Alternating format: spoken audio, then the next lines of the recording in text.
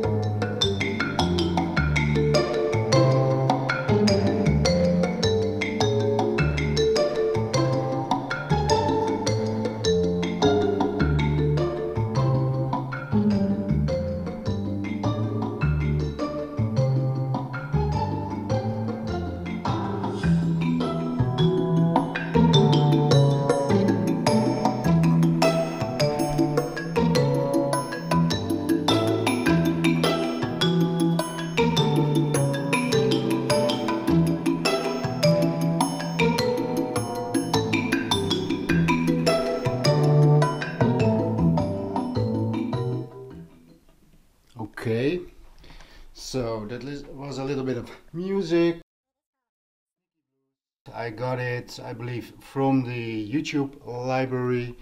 I don't remember exactly, but it's license free, so that won't give me any problems. Now what you see here are the stuff, is the stuff that I usually use in the office. I have my big computer downstairs, that's where I do all my editing and where I do all my work and I have these two Q Acoustics, the 2010s, as monitors downstairs and for amplification I am using this SMSL AD18.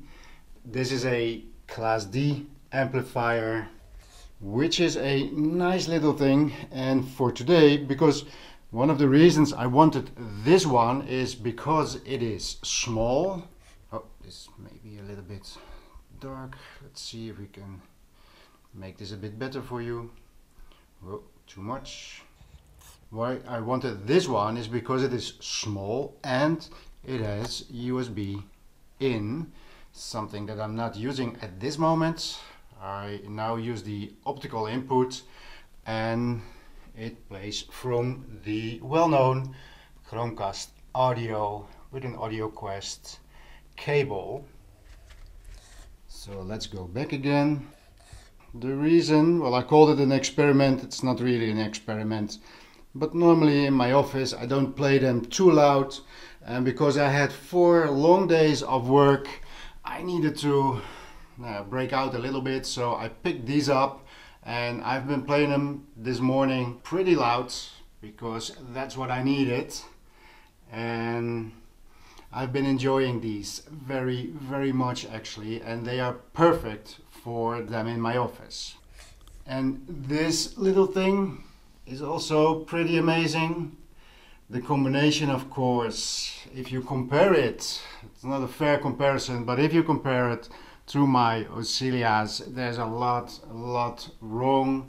You can't play too much bass, the music can't be too complex, but if you pick the right kind of music, something that I just showed you, it is a very, very enjoyable experience. One of the things with this loudspeaker, well actually not, not with this loudspeaker, but you remember that for the last few months my stuff kept breaking down and at one point there was also strange noises coming from the loudspeakers. So I was pretty annoyed with that and it took me some time to discover what it is and what it was, let me pick it up, is this little thing. So the interesting thing with these loudspeakers is that the connections are not on the rear like most loudspeakers have the connection for the loudspeaker cables on the rear. This one doesn't because the connections are down there.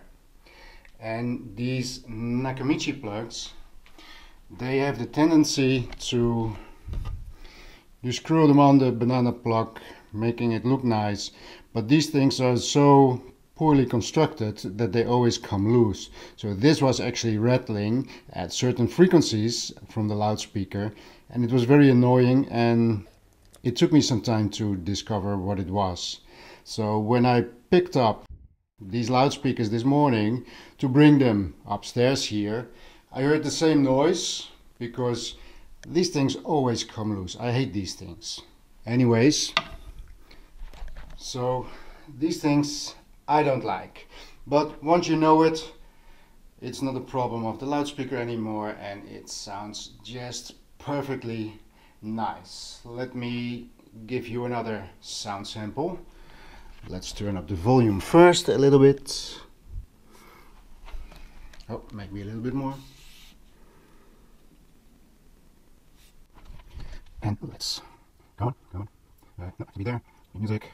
Um, what shall I play? I don't know. Let's try this one.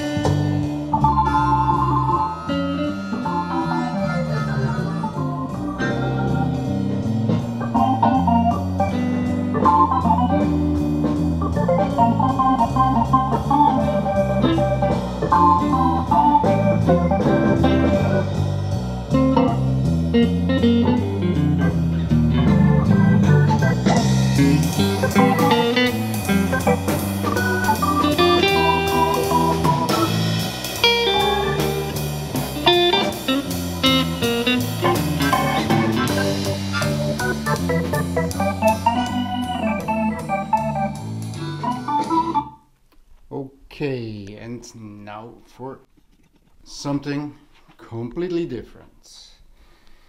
You see, last week I got a comment on one of the videos, and this was an interesting topic, something that I never had really thought about, and I thought it was pretty interesting.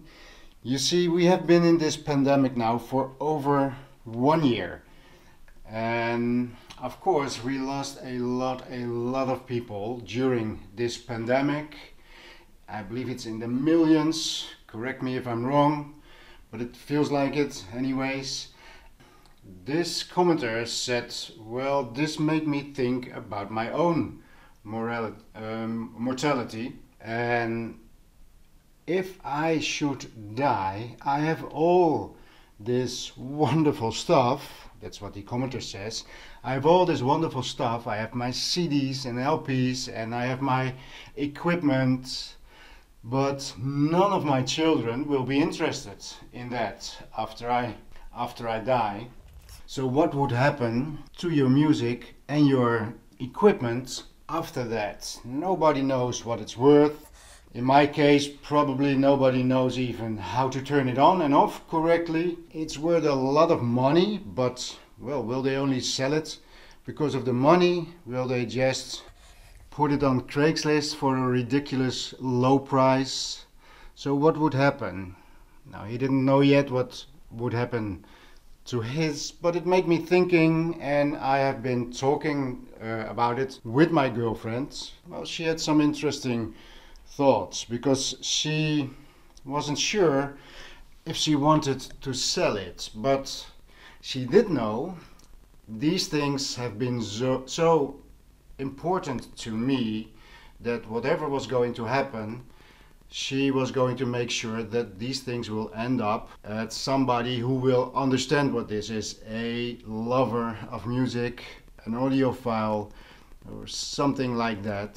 And now I have a lot of my stuff that I had bought for a long time ago I bought at my favorite audio dealer and we have known them for I think 30 years now. So she also knows them. And she said, I would have never thought about that. She said, you know what I would do?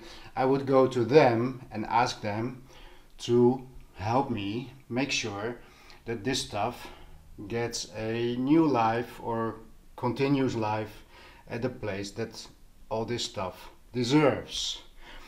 Also, we have been talking about, especially for an audiophile, if you die, they always play some music at the funeral. So, what music would you like to play uh, at your funeral? So, every now and then, every five years, we sit down together and play some music for each other so we know what would the other one like to play at their funeral. It's not the most comfortable topic to talk about, but we all die at the end, so that's going to happen anyway. One of the things that I always was wondering, and that she always says, Well, I'm just going to make sure that this will happen, is that these wonderful Oscillias and my wonderful Aitos will be the ones playing at my funeral. Now, normally, of course, you have the PA system from, well, wherever it is that you are, where they say goodbye to you. And you play from the PA system that they have over there. But, well, this is my life. I have been an audiophile for all my life. So, would you be willing, would you want, as an audiophile, even though you're not there anymore, would you want your favorite music to be played over an inferior PA uh, sound system? And I always thought, well, the best thing for me would, of course, even though I'm not there, I'm the only one not experiencing it in the room, but I would say I would like to have my wonderful Oscillias and the Aitos equipment to play my favorite music at the funeral. And throughout throughout my life, these things uh, uh, change. What is the, the music that I would like to be played? And at the moment, I'm not even sure anymore what, what it would be. So it's probably time that we have another evening of discussing with each other what is the music that you would like to play at your funeral.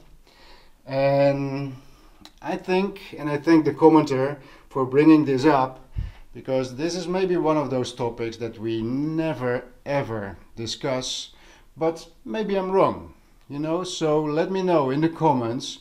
Have you ever thought about what will happen to all my stuff? And I'm assuming that you have like a big system or you invested a lot of money in your system, or even when you don't have if you haven't invested a lot of money, but just something that is a system that is near to your heart, what will happen after you die? Will this end up in a thrift store? I don't want that. I'm not even there anymore. But for now, if I think about it, it would be a shame if these things end up with just a reseller who doesn't care about what these things can do. So let me know in the comments, what would you do? And have you have any plans for it? I would be interested in hearing your thoughts about it, maybe even be inspired by what you have thought about what will happen after you die. So maybe a strange topic, but I think it's a topic that is worthwhile considering. So thanks again for sharing this comment with me. And I guess you understand that after a topic like that, I need some coffee.